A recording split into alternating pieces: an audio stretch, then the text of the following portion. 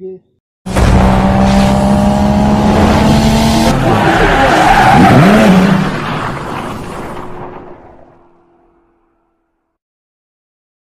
जैसे कि देख सकते हैं आप लोग, ये पंप मशीन है।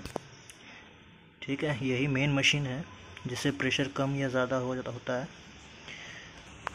ये है, जैसे देख सकते हैं कि प्रेशर गॉज है ये इसे प्रेशर नापते हैं। मैक्सिमम देखिए इसमें दिया हुआ है टेन ट्वेंटी थर्टी फोर्टी तो मैक्सिमम ये ट्वेंटी तक जाता है। वो प्रेशर डिपेंड्स पानी का प्रेशर जिस हिसाब से रहेगा उस हिसाब से प्रेशर दिया जाएगा। नेक्स्ट ये आता हम लोग का पाइप कनेक्टर इधर हम लोग पाइप कनेक्ट करते हैं। जो पा, पानी जहाँ से आ रहा है वो पाइप यहाँ कनेक्ट होता है। ये है कनेक्टर जैसे कि देख सकते हैं हम लोग ये कनेक्टर को कनेक्ट कर चुके हैं। इसको कनेक्ट करने के बाद ही आप पाइप लगा सकते हैं। अब ये देख लीजिए पाइप है। इसको लगाने का भी कुछ तरीका है। इसको पहले पीछे खींचिए, ज़ोर से, और फिर एक ही जब टक से आवाज़ आए तो समझ जाइए कनेक्ट हो चुका है। बस, ये है गन, प्रेशर गन। ये है प्रेशर गन। ठीक है? जैसे प्रेशर गन देख लिया आप लोग, ये है प्रेशर गन। ये ये भी क्या बोलते हैं, प्रेशर आपको बंद या ये प्रेशर गन के साथ नोज़ल दिया गया है। ये नोज़ल देख सकते हैं। इसको ऐसे सर्कुलर थ्रू इसको कनेक्ट किया जाता है। जैसे देखिए ये कनेक्ट हो रहा है। पहले ये कनेक्टर हम लोग को कनेक्ट करना पड़ेगा। ये फोम के लिए होता है। ठीक है? ये फोम के लिए हम लोग कनेक्ट कर सकते हैं। हम्म, अगर सिर्फ़ पानी का प्रेशर चाहिए तो सिर्फ़ नोज़ल लगा के भी आप पानी का प्रेशर मार सकते हैं। ये सिर्फ़ फोम के लिए है, सिर्फ़ और सिर्फ़ फोम के लिए। ये कनेक्टर दिया गया है। इसको भी कनेक्ट करने का कुछ तरीके होते हैं। जैसे देखिए, इसको भी खींचना पड़ता है और फिर इसको ऐसे ज़ोर से ढकेल देना पड़ता है। बस हो गया कनेक्ट और नीचे गैलन लगा सकते हैं नीचे गैलन लगाना पड़ता है। ये पाइप जो है, जैसे ये देखिए, बस लग गया। बस। जैसे कि देख सकते हैं हम लोग ये नोज़ल कनेक्ट कर चुके हैं। तो हम लोग को सिर्फ़ अभी पानी की ज़रूरत है अभी पानी की ज़रूरत है। इसीलिए हम लोग सिर्फ़ नोज़ल कनेक्ट किए हुए हैं। देख सकते हैं। ये देखिए। चलिए अब स्टार्ट करते हैं। पहले पानी मार देते हैं। चलिए स्टार्ट कीजिए। पानी का प्रेशर आप देख सकते हैं। पानी का प्रेशर आप लोग देख सकते हैं। बहुत सही तरीके से है। प्रेशर बहुत सही आ रही है।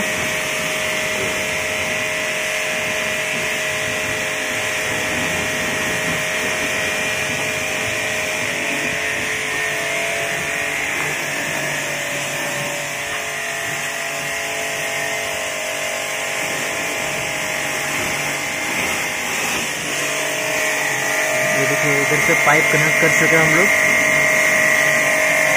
मीटर भी अपना रीडिंग बता रही है।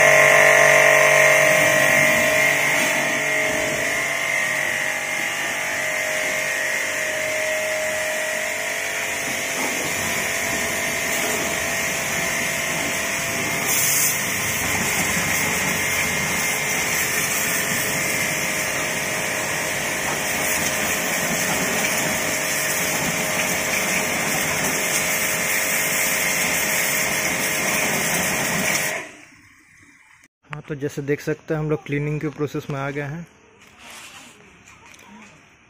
चलिए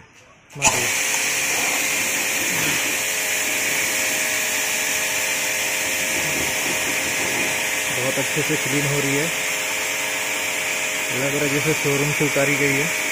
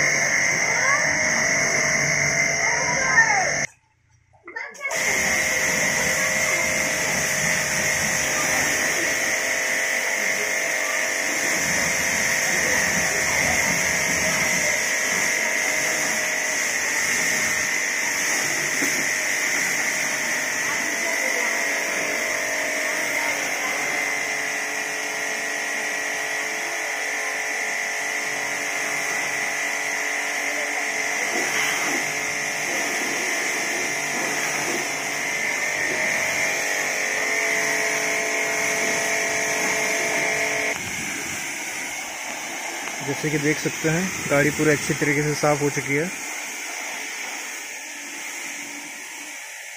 जैसे कि देख सकते हैं आप लोग, हम लोग नोज़ल निकाल चुके हैं, कनेक्टर लगा दिए हैं, और ऊपर दिया हुआ है गॉज मीटर, ठीक है? ये आप इसको अंदर तक ढकेलिएगा तो गाढ़ा होगा, और अगर बाहर से ढकेलिएगा तो पतला होगा।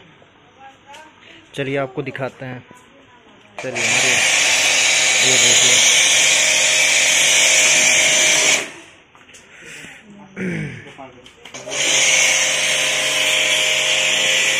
बहुत अच्छे से बैठ जा रही है।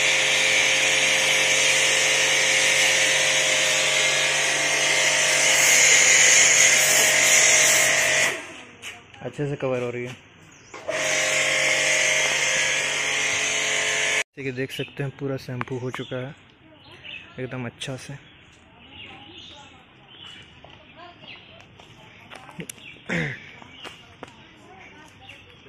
गाड़ी मार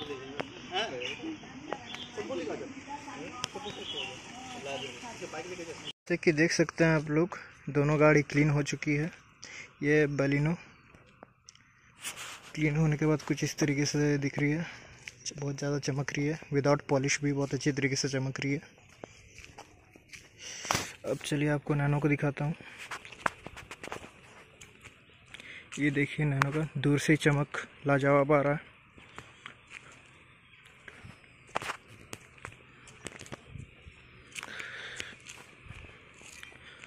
गाड़ी से रिलेटेड कुछ भी वीडियो अगर बनाना हो तो आप हमें कमेंट बॉक्स में कमेंट कर सकते हैं। आज के लिए थैंक यू, बाय बाय, नमस्कार, धन्यवाद।